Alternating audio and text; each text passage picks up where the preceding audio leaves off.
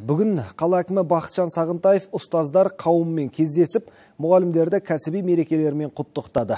Салтанатты шара барысында жыл мұғалімі қалалық байқауының бас жүлдегеріне екі бөлмелі пәтер кілті, ал бірінші орынды жеңіп алған ұстазға жеңіл автокөлік кілті табысталды.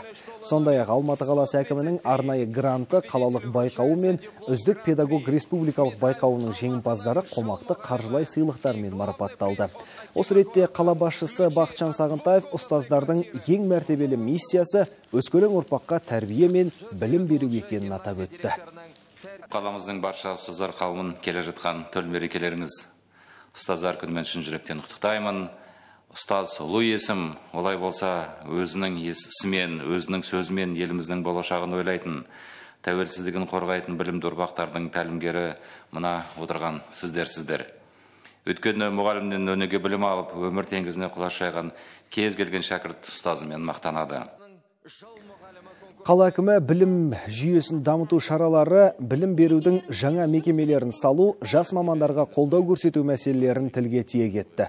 Биыл жас мұғалімдердің материалдық жағдайына ерекше көңіл бөлініп, бір реттік төлем беру практикасы жалғаса түсетін болады. Қазан айында жалпы сомасы 27 миллион теңгеден асатын төлемді 549 жас мұғалім алған. Алматы жастары 3.0 бағдарламасы арқылы жеңілдетілген несиемен 187 жас маман баспаналы болды. Шахар бойынша 32 мыңнан астам педагог болса, соның 500-ден астамы жас мамандар. ұстаздар қауымына деген осындай қошемет құрмет қолдаулар бізге үлкен септігін тигізеді.